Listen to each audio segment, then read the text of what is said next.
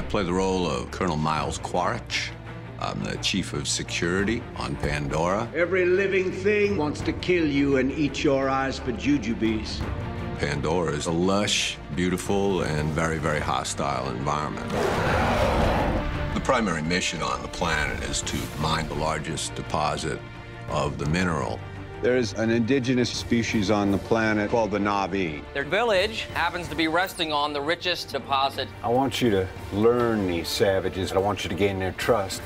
Jake certainly gets attention because he's been drafted into the Avatar program. And that strikes me as a golden opportunity to becoming a mole.